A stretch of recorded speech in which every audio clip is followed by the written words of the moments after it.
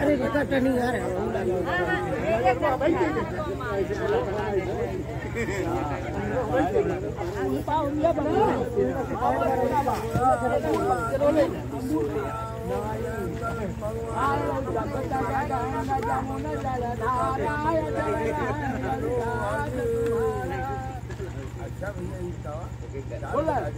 ôm xuống thằng lo nha chứ dạ.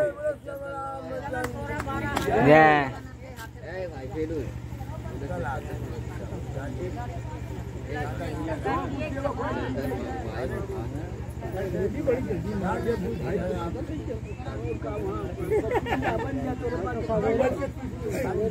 Kamu jangan